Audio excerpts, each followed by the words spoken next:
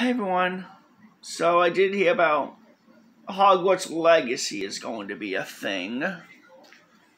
Possibly this year or maybe next year. So, for the hype of Hogwarts Legacy, yeah, I'm finally going to be putting Harry Potter in my ultimate matchup. Alright, so I'm going to be using feats from the books, the video games, and the movies for Harry. His opponent is Sabrina Spellman from from yeah Sabrina the Teenage Witch. Um, both of them found out they were well. Sabrina found out she was a witch on her 16th birthday. Harry found out he was a witch on his I think was he 12 years old when he found out he was a wizard. Um. Shoot, I have not seen the first movie in so long. I know he was. Don't know how old. Ha- Hagrid came to his home and said, "You're a wizard, Harry." Sabrina's Sabrina's aunts told her she's a witch when she was um freshman year of high school. Oh, was he was he sixteen?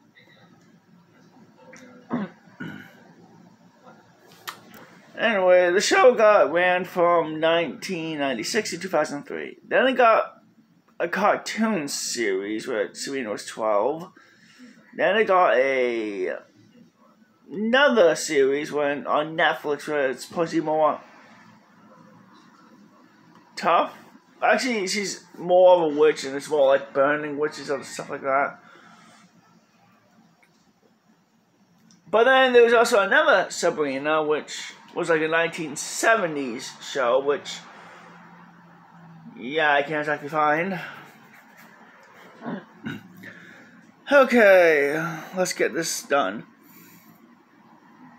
Yeah, both Sabrina. This fight, it would be very tricky. Both Sabrina and Harry have spells that can instantly end the fight in 10 seconds flat. Sabrina can turn Harry into a pineapple, an apple, a doll, a dog. Literally anything. And Harry probably has spells like turn into a teacup or whatever. So both can instantly one shot each other, pretty much. yeah, this makes this match really tough. Hmm.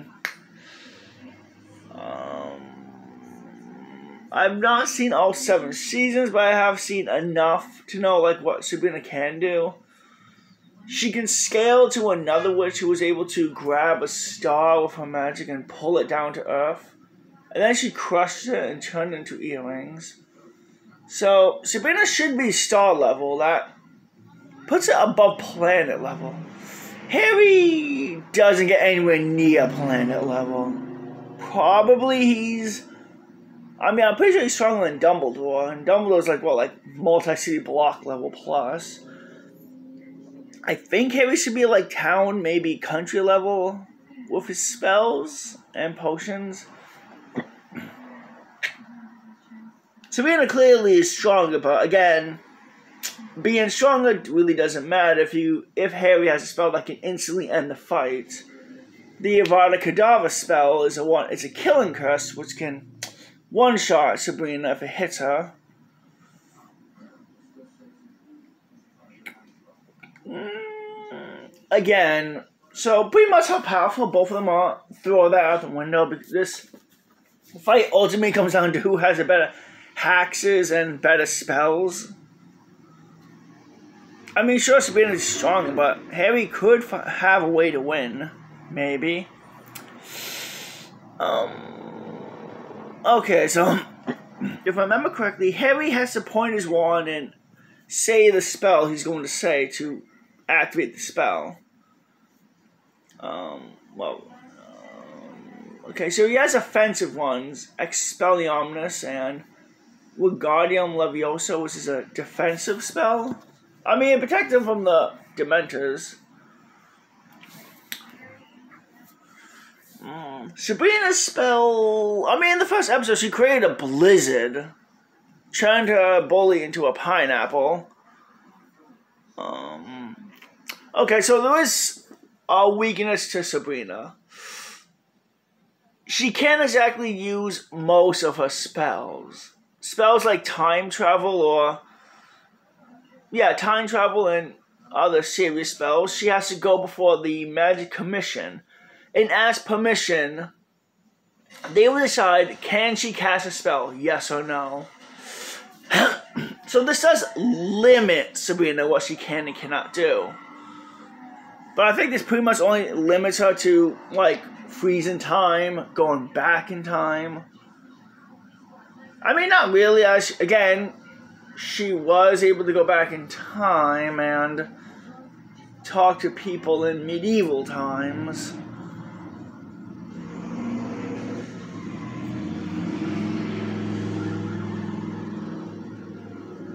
The Magic Commission is a weird commission.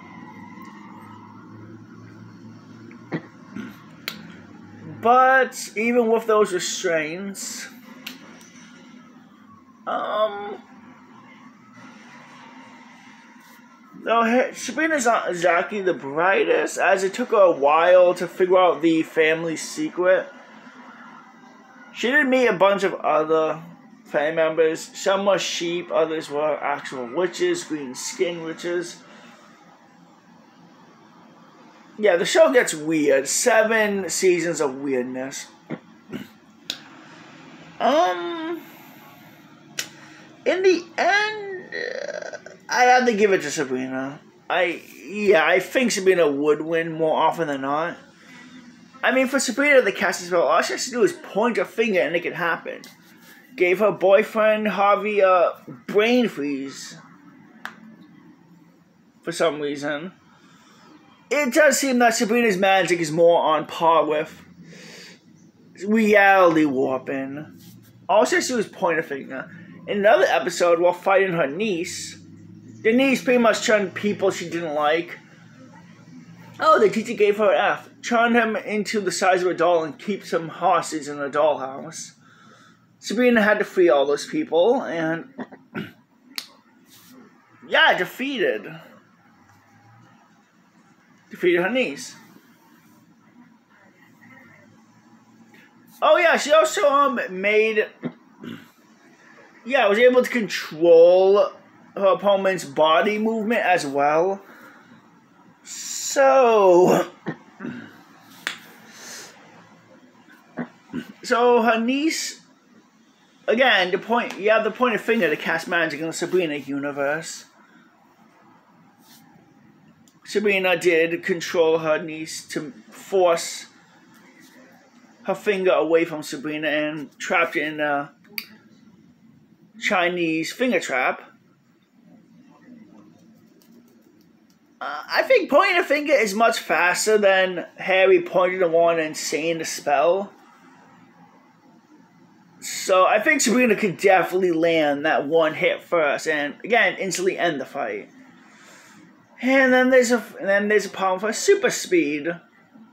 In one episode, when she was addicted to pancakes, she was running so fast, faster than she actually ate down all the pancakes in the in this in a school, and she was moving so fast in the cafeteria that the other students didn't even have time to react or even. I don't think they even saw her moving that fast. So I think that definitely should. She pretty much speedblitzes him. also, she does travel between other realms in the show, so I believe her travel speed should be massively faster than light. Yeah, I think that pretty much is the final nail in the coffin. Like I said, this fight is definitely not one sided. Both have spells that can instantly end the fight. But I think Sabrina has more ways of ending the fight than Harry. And Sabrina's spells are. Sabrina's magic is more akin to reality warping. She can literally turn things into anything, magically think, poof things in the fat air. Um, can, she can also control the weather, and that was, and she can control the weather, and that was in the first episode. Season. And later on, she got much more powerful and was able to control her magic later on in the series. I see Harry struggling with this match. But yeah, I um I have to give it to Sabrina. I hope everyone enjoys Hogwarts Legacy whenever it comes out. And uh, yeah, I also heard that Fantastic Beasts 2 got canceled because they kind of fired Johnny Depp before they talked about. Well, yeah, they should have waited until after the trial to fire Johnny. But if they were going to fire him, but they should have waited till after the trial. They should have heard both sides and see, yeah. Disney and Warner Brothers kind of messed up with the whole Johnny thing. They immediately took Amber's side and didn't want to hear what John had to say. And now they look like fools because Johnny's been proven innocent and again they would have to come crawling back to Johnny and beg him to come back to their movies. So as I so as I heard, Fantastic Beasts two is canceled. Um, the reboot where Harry's children goes to Hogwarts, I don't know when that will come out. Probably next year. But yeah. Mm. But yeah, I'm actually. I mean, not really surprised. Watching a few episodes of Sabrina, seeing her her kind of magic and seeing what she can do. Yeah, she can pretty much just control Harry, force his wand to point at himself and blast himself with it, or turn him into a pineapple, an apple, or whatever. Again, I really don't think Harry can handle Sabrina's level of magic, which is pretty much reality warping if you look at it. It would be too much for Harry to handle. Now, originally this was going to be Twilight Sparkle versus Harry Potter, but I scrapped that. And then I thought maybe I could do Twilight Sparkle versus Hermione Granger. I mean, both of them like study magic. Both of them are, I guess, eggheads, as some people would say. Both of them are smart. Both of them. But. Twilight's universal, while Hermione doesn't even get close to planet level. And both of them have spells against the end the fight immediately. And Twilight speed from 10 has spells increase the speed from 10% speed of light 10% speed of light to 40%. So she pretty much speedblitzes Hermione. And in season 9, we do see Twilight reacting to other magic before as Summer tried to blast her magic and she was able to block that with her horn. Well, after glowing the horn and, well, hidden the magic. So, she could just block everything Hermione does and immediately end the fight with one. Yeah. So I scrapped it My Little Pony versus um, Harry. To be fair, I think Twilight pretty much solos the entire Harry Potter universe. But yeah, um, anyway, hope everyone has a wonderful summer. Oh, um, bye.